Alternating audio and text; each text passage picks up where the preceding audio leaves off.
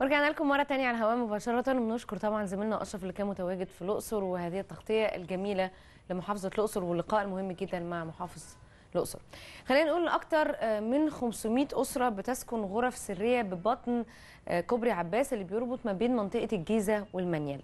وفي الغرف دي بيتم أبشع أنواع الجرائم من تجارة مخدرات من اغتصاب من خطف وكل ده طبعا في غياب أمني تام. واليوم من خلال فقرتنا بنحب إن إحنا يكون معانا ونستضيف الصحفية الجريئة وهي إسراء الشرباصي صحفيه بجريدة اليوم السابع اللي قررت إن هي تقتحم هذا العالم الخطير وتنقل لنا صوت وصورة إيه اللي بيتم تحت أو في بطن كوبري عباس زي ما بيقولوا. صباح الخير يا اسراء أنا مش سامعة صوتك فمحتاجاكي تعلي صوتك معايا شوية. وطبعا في البداية إحنا فخورين بيكي كبنت جميلة وفي نفس الوقت إنك تقتحمي هذا المجال وتخاطري كمان بحياتك. فعايزه أعرف في البداية كمان إيه اللي خليكي نقدر نقول تفكري في عمل تحقيق صحفي عن كوبري عباس؟ هو الموضوع جه معايا بالصدفة شوية لأن أنا قابلت محامي كنت أعرفه من زمان كلمني عن جريمة قتل حصلت تحت الكوبري. وكان كل كلامه متوجه إلى الأرض اللي تحت الكوبري وعن نظافتها وعلى إن محافظ الجيزة ما بيساعدهمش في أي حاجة وإن مالك الأرض بيعاني من الإجرام اللي بيحصل والعشوائيه اللي موجودة في المنطقة. فرحت علشان أصور اثار جريمة القتل وأشوف القصة بتاعة الأرض. فبقول له إيه اللي بيحصل؟ يعني المجرمين دول عملوا كده إزاي؟ ولا إيه القصة؟ هي كانت إيه طبيعة جريمة القتل؟ القتل حصل إن مجموعة الحارس بتاع الأرض ومعايا واحد صديق ليه آه واحد تالت جه بيمارس الشذوذ مع صديق آه الحارس. ده ده الكلام اللي اتقال من المحامي ومن ملك الأرض. آه حصل خلاف ما بينهم على الموضوع دوت. آه ال ال الشاب التالت ده مسك حجر كبير وخبطه على دماغ الحارس. الحارس مخه طلع بره راسه. مم. والشاب التاني صديقه عينه الاتنين يعني هو ماتوا. يعني تمام. يعني بلاش اوصف بالتفصيل والاسعاف لما طلبوها جت بعد ساعات. آه، رفضوا إن هم يشيلوا الجثث من بشاعة المنظر. الأهالي هم اللي شالوا الجثث ودخلوها عربية الإسعاف آه، سابوا لغاية دلوقتي آثار ال- القتل يعني جزء من مخ القتيل. لسه لغاية دلوقتي على المخدة بتاعته. وهي اللي ظهر في الفيديو اللي أنا صورته آه، وهدومهم بكل حاجة كل حاجة زي ما هي موجودة شفناها في الفيديو. آه فبقول له إيه، طب هم جم منين ولا عايشين إزاي ولا يعني عايزة تفاصيل أكتر. قال لي بطن الكوبري ياما بتداري هي دي الجمله اللي خلتك تعملي تحقيق بقى. بالظبط. ما سبتهاش بقى. okay. بطن الكوبري يعني إيه بطن الكوبري؟ مش فاهمة. من هنا لهنا فهمت إن في ناس عايشة في عايشة. بطن الكوبري. فهم كانوا خايفين على نفسهم طبعا لما الناس ديت تعرف إن هم يعني فضحوهم ودلوا و- عليهم. آه بالظبط. وغير كده هو خايفين لحسن أنا أقول أطلع. مم. وده اللي حصل. مم. قلت لهم لا أنا مش هنشر أي حاجة إلا لو طلعت بطن الكوبري. طب إزاي؟ وقعدوا يوصفوا لي قعدوا أكتر من ساعتين يوصفوا لي إن الموضوع صعب جدا ومستحيل. وي وي وي. وفي مخاطر وفي وفي وفي. بالظبط. ومواسير وهتطلعي المواسير. طب وهتطلعي إزاي؟ طب وهدومك وإنتي وهتقعي. والكلام ده كله وبيقولوا لي على فكرة سامح حسين كان هنا هوت وصور آه، مسلسل حاميها حراميها. قلت لهم طب إزاي بقى هو طلع وليه أنا ما اطلعش اي لا كان معاه حراس وكده وناس كتير وبتاع قلت لهم أنا معايا ربنا. أنا هطلع. ففين بقى لما جابوا لي آه، واحد إحنا فعلا بالفيديو لقينا إن في المفروض إن في دليل بيرشدك إزاي. وصلتي للدليل ده وارشدك لإيه؟ بس إحنا هنشوف الفيديو دلوقتي بس خليني أعرف بس هي الدليل اللي وصلها ده اتعرفت عليه إزاي.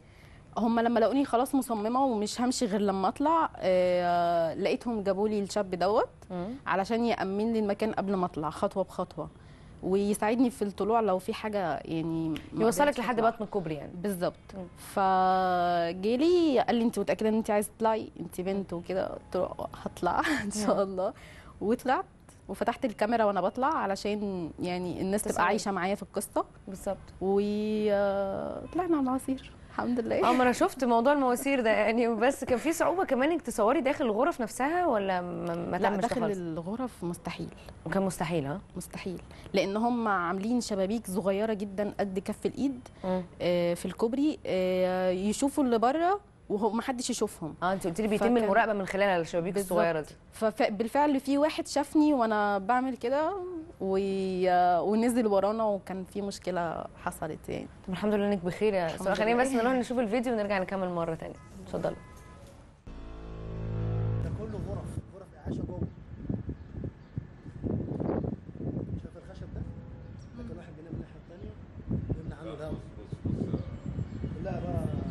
مستشار سيد الفقي آه عندي قطعة الأرض دي بقالي حوالي سنتين. طبعا إحنا جينا كانت هنا كل القطع دي كلها ردم وكلها عيال مسجلة وكان فيها حرامية وفيها كل ال...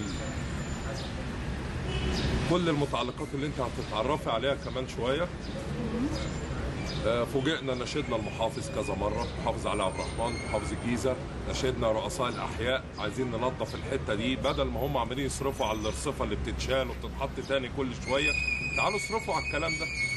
الميزانية اللي أنتوا رميتوا فيها المحافظة وجيتوا قعدتوا تقولوا إحنا بيضنا وعملنا ب 58 مليون و25 مليون وهي شوية دهانات لا تعالوا نظفوا الشوارع ونظفوا الدنيا بدل الناس اللي عايشة دي. ناس هنا عايشة كأنهم في سجون فوق. ما لا يقل عن 300 واحد. أكتر من 490 أسرة عايشين في بطن الكوبري فوق. تمام. طيب حضرتك بدورك عملت إيه في الأرض؟ إحنا جينا هنا طبعا أنا وشركاتي في الأرض نظفنا شلنا الردم أكتر من 50 عربية تريلا بره شالوا الرمل ال- اللي هنا وشالوا الردم وشالوا الأزايز وشالوا السرنجات اللي كانت بتتعمل لضرب ال- المخدرات والمكس في إيديهم. وبعد كده خدنا الحتة دي نظفناها وقدمنا تبع إدارة طرح النهر في هيئة التعمير. طبعا لا حياة لمن تنادي بس.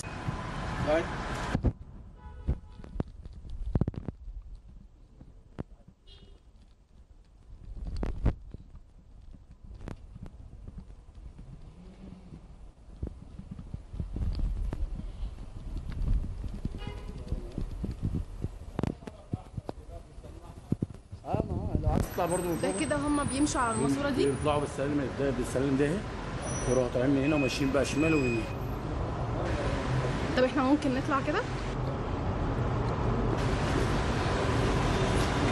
مواسير كده المواسير والمشاية دي بتوديك لغاية المانيا. لغاية المانيال لغاية المانيا. من هنا. هم بيمشوا كل دوت كل بيمشوا يوم. كل ده. ما بصي تخافش يا أستاذ عصام. بصي بقى بصي يا أستاذة صوري كده الجناب دي.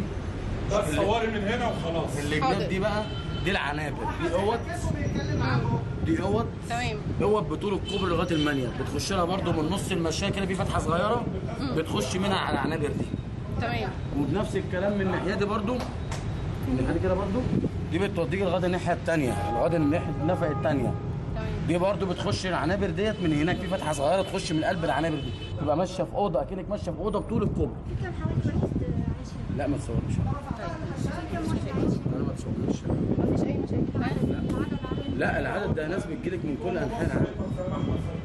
يعني آه يعني مش العدد يعني ممكن تلاقي مثلا ماشي قد إيه؟ بيشيل ناس كتيرة بس إحنا بقى طبعا عشان إحنا على طول الحكومة برضه من الناحية دي وإحنا من الناحية دي فبتلاقي العدد خلاص خف من عندنا. كلها أوض معيشة. أي لا يعني أوضة أوضة كبيرة معيشة طبعا. حاجة. لو دخلتيها دي كبيرة. الاوضه طولها مثلا حوالي مثلا 20 متر طول. عند العمود ده يمسكوا ويمشوا سنة بسنة. يعني بص هنا خليك هم اللي بيبقوا قادرين يعملوها لكن الحكومة ما تقدرش ما أنا هقول لك بس انت ما تصور. أنا ما يعني ماشي أوكي بظهرك حاسب يا احمد بص إحنا مش هنخش لا إحنا اهو أنا بنصوره. ما تقدرش تعمل كده. زي كده اهو. بس يا احمد رجع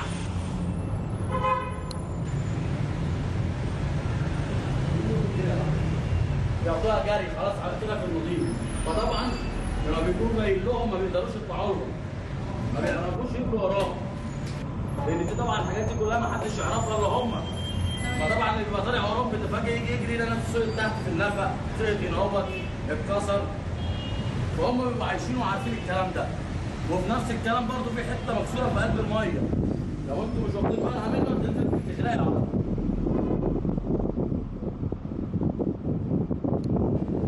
شايفين يعني اللي انت وقفت عليها دي في اختها هنا اهو.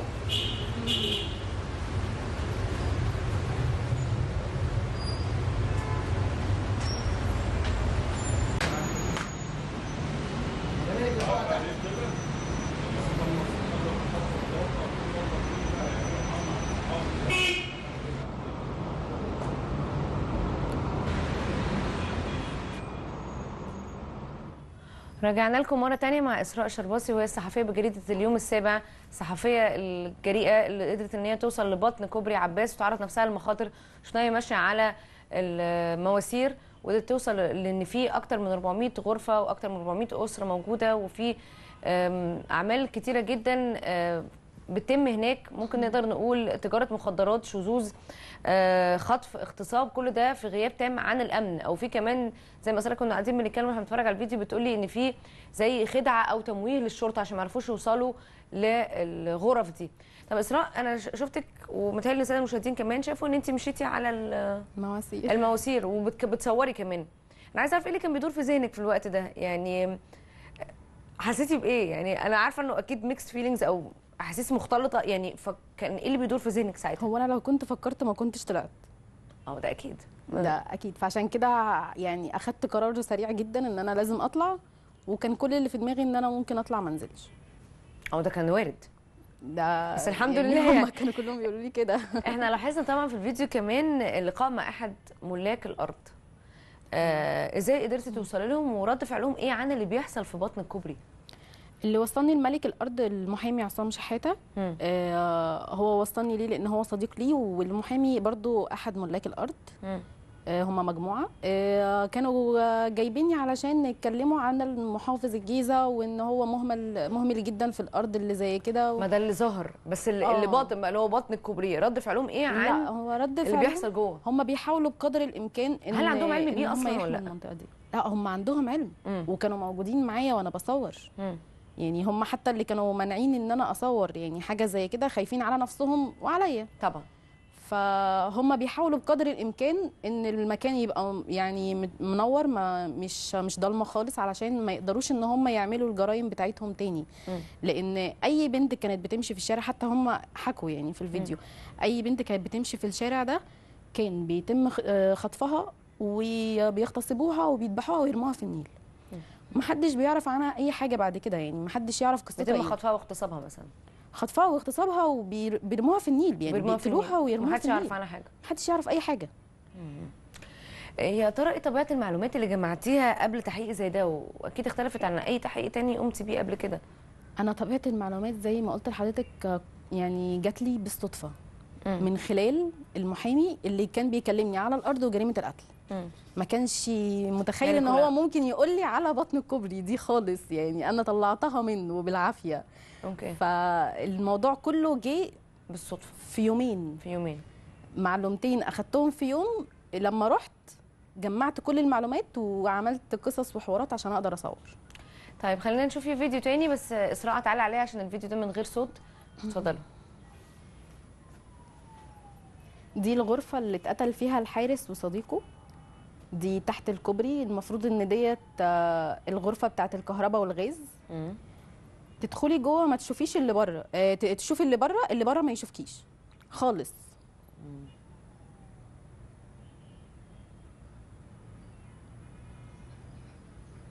أوكي. ممكن هنا. دخلتوا بقى الغرفة دلوقتي ها؟ دخلنا الغرفة. بيوروني بقى اثر ال- الدم واتفاجئت إن المخ بتاع الراجل جزء منه موجود على مخدته لغاية دلوقتي مم. يعني الإسعاف حتى يعني مش كفاية إن هم رفضوا يشيلوا الجثث لأ كمان رفضوا إن هم يعني يعني الحاجات دي حرام يعني إن هي تفضل بالمنظر البشع دي محدش نظفها محدش جه جنبها خالص مم.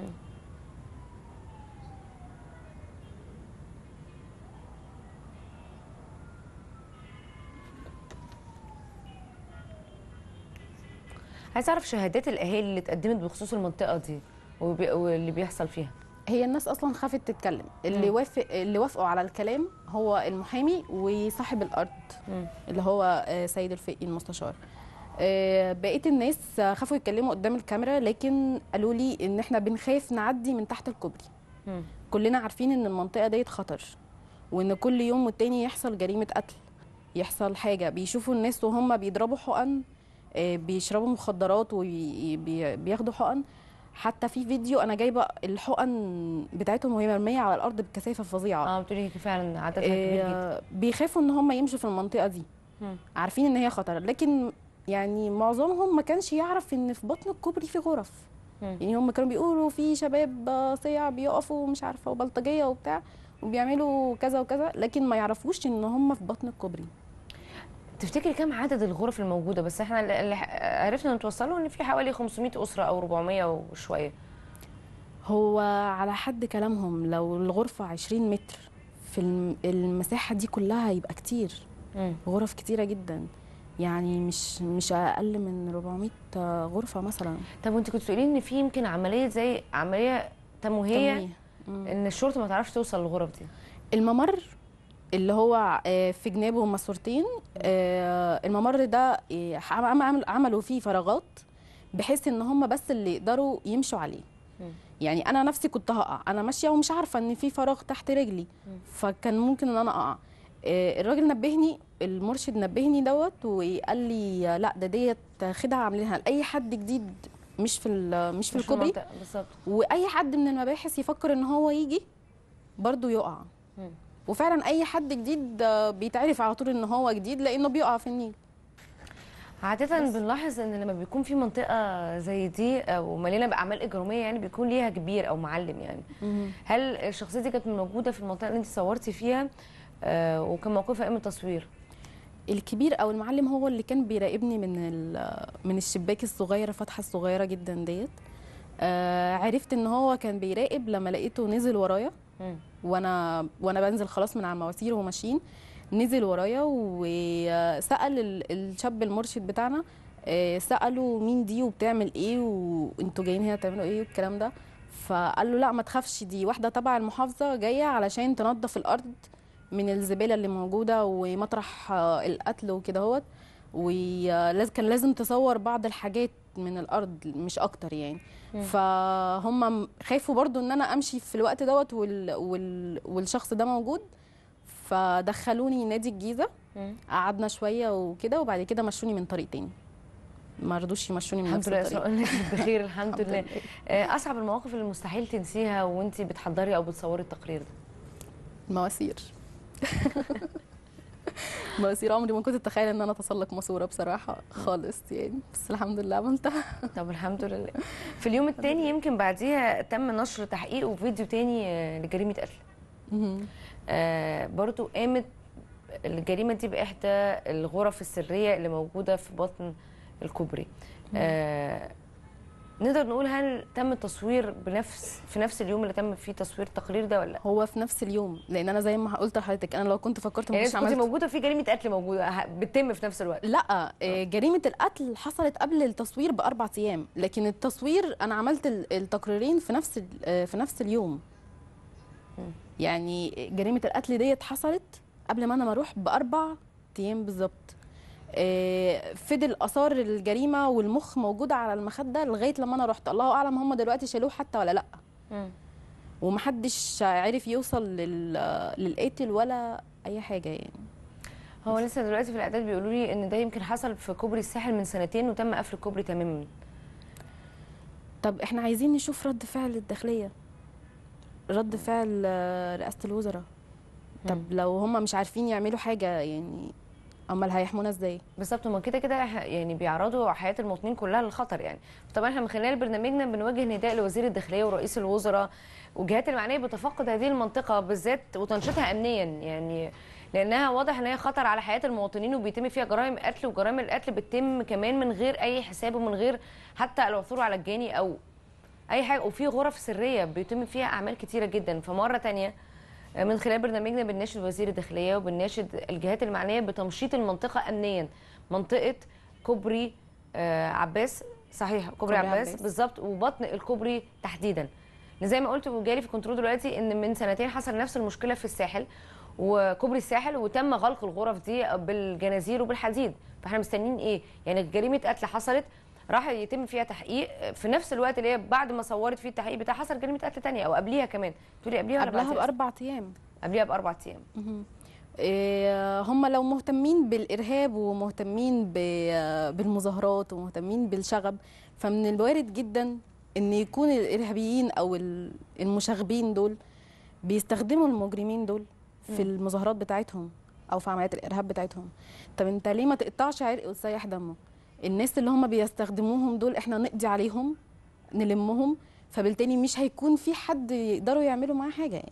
صح بس أنا برضو عايزة أرجع لشهادة شهادتك أنت خصيصا. يعني فكرة إن صعب قوي إن الشرطة توصل للأماكن دي لأن في تمويهات بتحصل وفي زي ما أنت بتقولي بتبقى واقفة على فراغ. فإحنا بنناشد إن يتم غلق الغرف دي تماما لأن صعب جدا الوصول ليها فيتم غلقها تماما ويتم تمشيطها فعلا امنيا. بس أنا بحب اكد على ده كمان. يعني هم يقدروا يهدوا الكوبري كله لو هم عايزين. مم. هم يقدروا يعملوا أي حاجة. فإحنا طبعا. مستنيين يعني نشوف هم رد فعلهم إيه على كوبري زي كده. هو على رأيك هو يقدروا يعملوا أي حاجة؟ إذا كان انت مشيتي على المواسير. مثلا. يا بنت بسيطة هي يعني امال قوات خاصة وحاجات كده يعني. لا أنا أنا عرفت إن محافظ الجيزة استجاب للتحقيق بتاعي وهيروح يشوف الأرض الأرض. مش الكوبري يعني هو مش هيطلع أكيد بطن الكوبري. okay. فعلشان تبقى مضاءة بشكل مستمر ونظيفة فنفسنا إن يكون في رد فعل من وزارة الداخلية مشابه لرد محافظ الجيزة اللي لسه كمان مش متأكدين منه هل هيحصل فعلا كده ولا لأ. يعني طيب، أعرف- نفسي أتأكد. آه، رد فعل بقى عيلتك كان إيه؟ بجد عايزة أعرف. أصل انت رايحة تعملي تحقيق أوكي؟ تحقيق على أرض الواقع زي ما بيقولوا أو على رجليكي. فانت واقفة هتسالي الناس زي ما بتنزلي من بيتك الصبح ورايحه شغلك. لكن مواسير وندخل غرف سرية لا هما ما ونتعرض ونعرض حياتنا للخطر. هما ما عرفوش غير بعد ما أنا رحت عملت الموضوع ورجعت البيت. حكيت بقى. يعني وريت لوالدي ال- الفيديو. ما صدقش.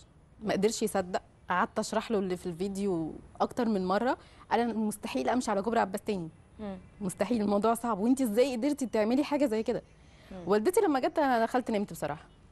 مم. يعني أنا دخلت نمت قلت إيه؟ بلاش احسن عشان ما تهزقش. أنا مرة تانية عايزة أرجع لشهادات الأهالي حوالين المنطقة دي عشان عايزة أعمل stress أكتر على قد إيه المنطقة دي خطرة وإن الناس اللي عايشين فيها كمان معرضين للخطر.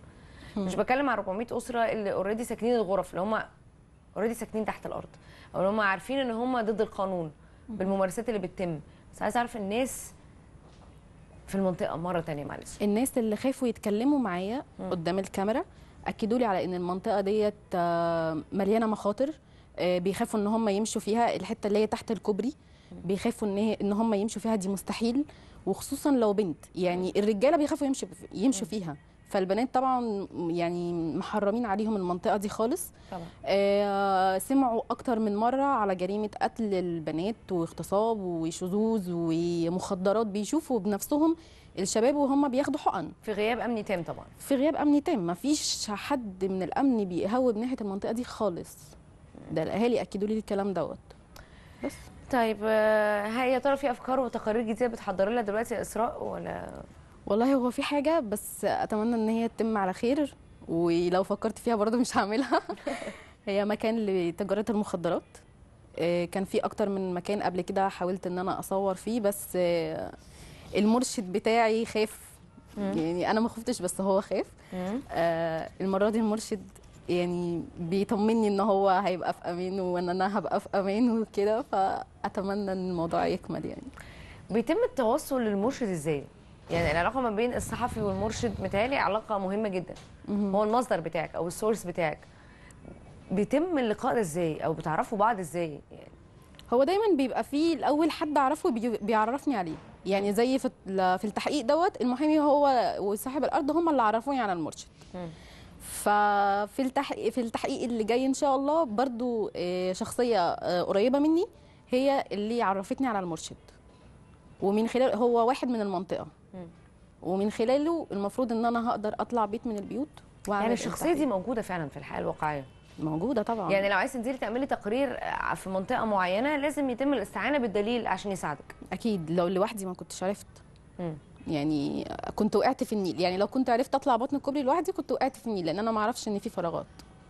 طيب آه، هل بيعمل الموضوع ده للوطن يعني ولا بيبقى فيه فلوس مقابل مادي يعني؟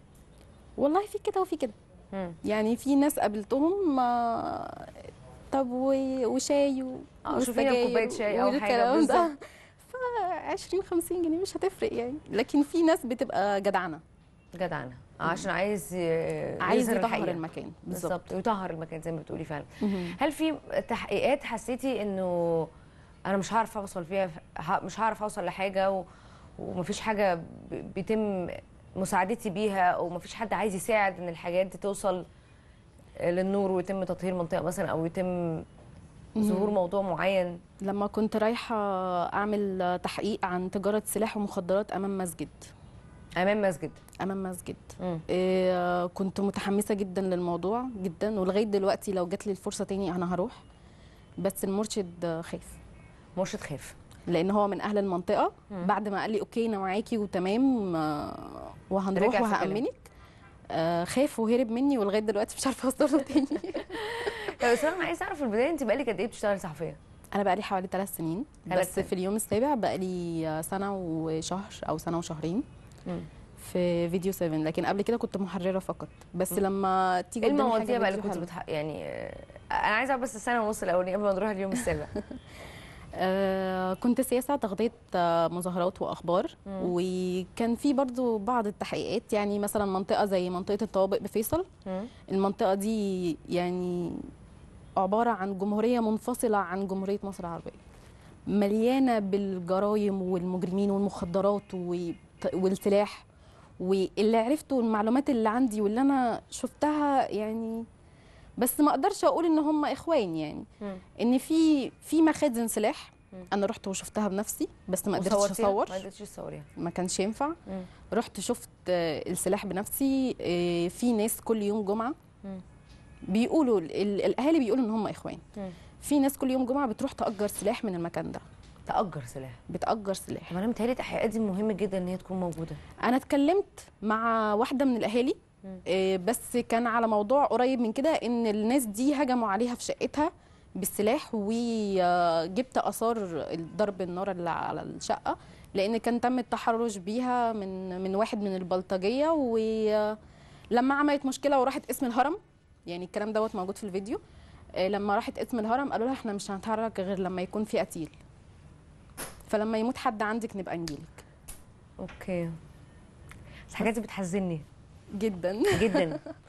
جدا. زيها بالظبط زي ما يبقى في مريض عندنا ولازم يدفع فلوس قبل ما يبتدوا يستقبلوه في المستشفيات. بالظبط. ديت لازم حد من عندها يموت. يعني ابنها أخد آه، شظيه من ال... من ضرب النار في بطنه وما فيش فايدة. لازم حد يموت. آه، الصحفيه إسراء الشرباسي مرة تانية بحييكي. وأتمنى لك التوفيق وربنا يحميك يا رب. ربنا لأنك اخترتي مهنة صعبة جدا وكنت ممكن مثلا تبقي محررة في الفن وفي الموضة وفي الرياضة والحاجات. البسيطة دي. آه بما إنك بنت جميلة جدا. بس واضح إنك ما عرفتيش. و آه، متهيألي آه، أنت ليكي دور ودور مهم جدا.